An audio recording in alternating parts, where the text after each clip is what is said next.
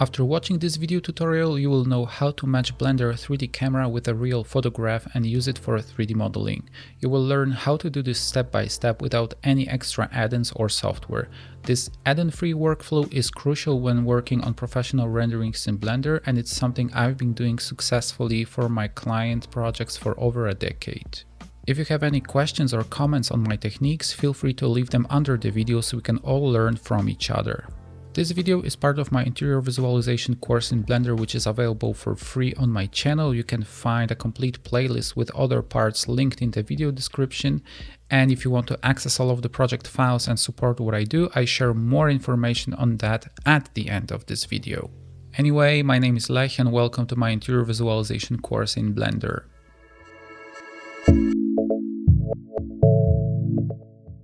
Hi everyone and welcome back to the scene where we left in the previous chapter. So as I mentioned, now we are gonna start adding details to what we have already created and we need a camera to be present in our scene to do that more effectively. So I will switch to the top view here, creating a new viewport by the way. And I will add a new camera and I will try to create something that we have in this viewport uh, on the left. So I'm gonna switch to increment, yes. Now rotate it with control key pressed. Now, as you can see, I'm pointing my camera directly uh, to the front so the rotation I've applied is very precise here. So with the camera selected, I'm pressing Control numpad 0 key so the selected camera becomes uh, the active camera here in the viewport. And as you can see, we don't see that much right now. So I'm gonna move it back a little bit in order to have more perspective here. It's still not enough. So the first thing that I'm to change will be the focal length. And if you're a little bit into the photography, you know that one of the camera lengths used for the interior photography is 20. So let's use something similar here. And as for now, let's move our camera like this. My next step will be hiding all of the drawings visible in the viewport so we have a little a bit better visibility. And now I will select the camera and add a background image to what we have visible here. So as you can see I'm selecting the camera icon here and going to the background images uh, checking that in. And adding an image. Uh, the images that I'm going to include in this video will be linked in the video's description, so you can also download them uh, from the official source and use them by yourself. So as you can see right now, we have an image which is aligned to our camera and when I switch to the wireframe view, we can somehow see that the things both in the image and in our 3D viewport are related. So we have the stairs visible here as a 3D mesh outline and we have those the same stairs in the image. Um, kind of the same situation with the counter except it's moved uh, much more to the side. So what we have to do now is aligning all of those elements together so we more or less, I would say more than less, have the geometry outlines matching the actual well ele geometry elements in the picture. So let's see how we can do this. Well, the first thing I'm gonna do will be simplifying my 3D view a little bit. So for now, I will just hide this counter element here and probably yeah let's hide the barriers here as well so we have the main geometry elements such as floor slabs walls and the stairs visible now when I go to the wireframe view uh, it might be not that readable as you wish. So if you select a camera and go to the background images section here, you can also increase or decrease the transparency. And what's very important, you have to remember to select the fit uh, option here. As for this camera, since we have the, the image resolution we have set up here is the same as the actual image resolution, nothing changes if we change those options here. But if if let's say the image you put into the camera background has a different resolution and it's selected as stretch here, the image will be adjusted to the camera boundaries and it will be distorted. Sometimes it's not that much of a case, but if you forget to do this and start aligning elements from that point on onwards, um, yeah, you're gonna have incorrect results and that should be avoided. So just please remember to, to switch. It's, it's always best to switch to fit, I think. With all that being said, let's now get to work.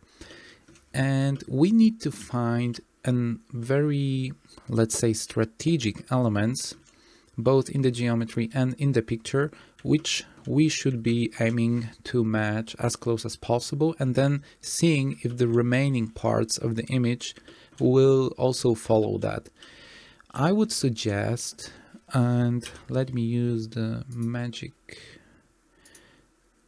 uh, annotations tool in Blender here. I would suggest matching these lines here to what our actual geometry is. Maybe let's make this color much more visible. Yeah.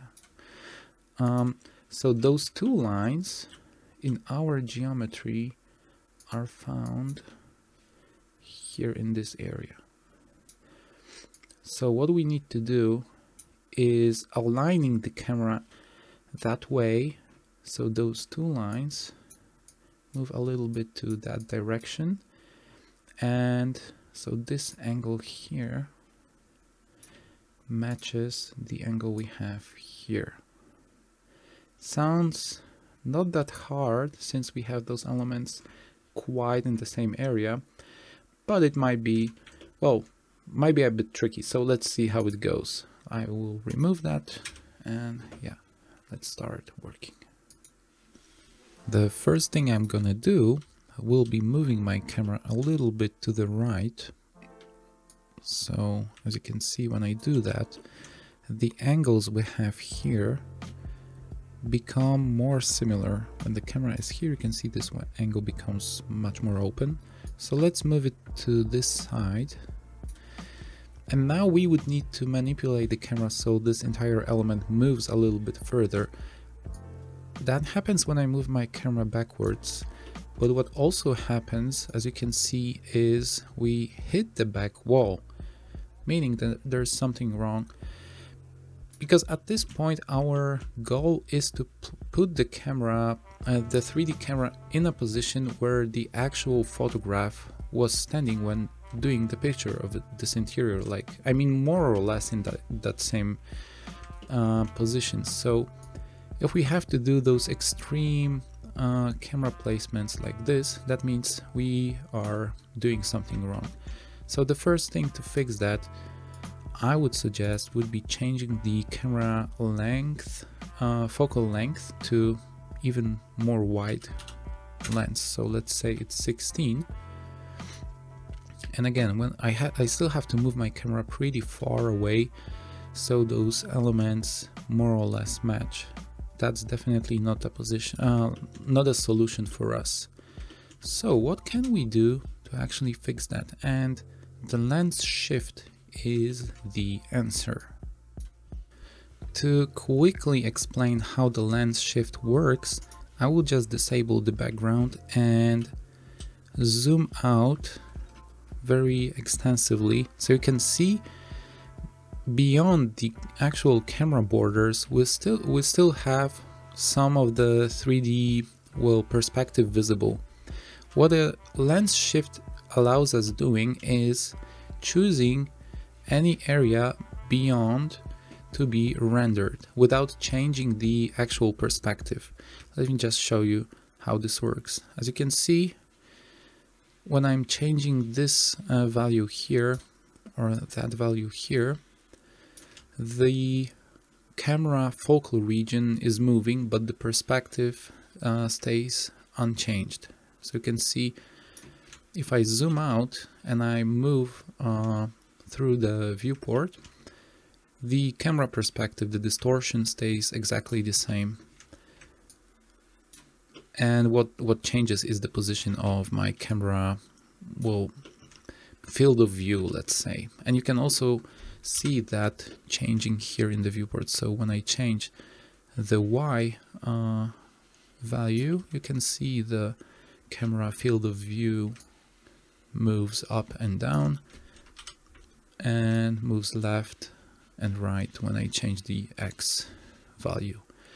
So that will be a solution to our problem right now because when I go back you can see what we actually need to do here is somehow moving this element downwards. When I go to wireframe view and change the lens shift like this, you can see we can now almost perfectly match those two corners. So our geometry corner here to this corner in the image. And when we do that, you can also see those perspective lines are surprisingly uh, well aligned just for this very rough test uh, that we did. So let's still move this camera a little bit backwards and let's align this view here just a bit more. And yeah, I would say we are kind of getting there. You can also see the elements we have here are matched pretty well. There is some offset visible here as you can see, but what's the best news for us is that the perspective lines are aligned pretty pretty nicely. Here, except of just a little bit of offset, it's also very nice. So, next, step would be unhiding the elements and seeing how it goes from that point. I will unhide the geometry elements by pressing Alt-H and again, I need to leave my viewport just to manually hide the drawings. And from that point onwards, for the few more uh, minutes, what we have to do is actually trying to match uh, the elements well just moving the camera around because it's not possible to do it just in the first try usually um, as you can see what I don't like um, at this point is the perspective, the distortion difference between the stairs. So here we are way too close to them, to what we have in the reference image. The other element seems to be working well, but perhaps we can also remove this distortion, or uh, this difference here.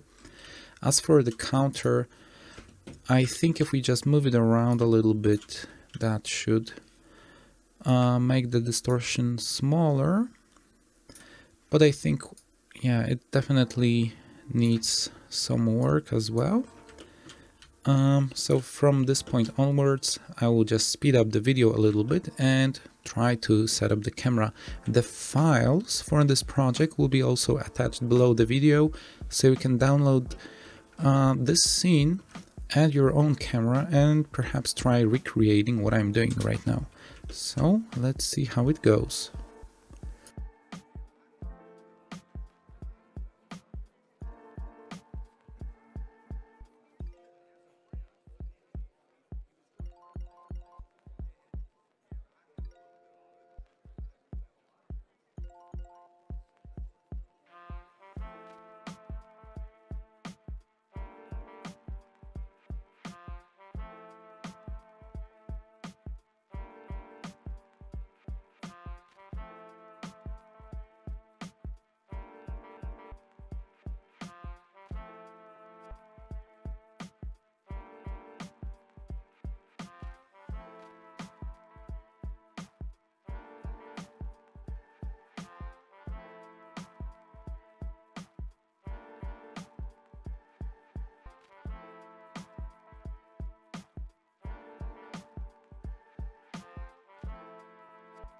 Thank you guys for watching. In the next video, we will add a second camera to our interior scene and match another photo reference.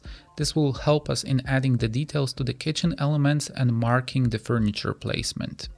If you want to support what I do and access all of the project files that I've created so far, plus the Blender ready interior scenes, and over 2000 Blender exclusive 3D models, visit the Chocofur store and learn more about our subscription plans. These truly are the best money can get you if you're really considering getting better at Blender.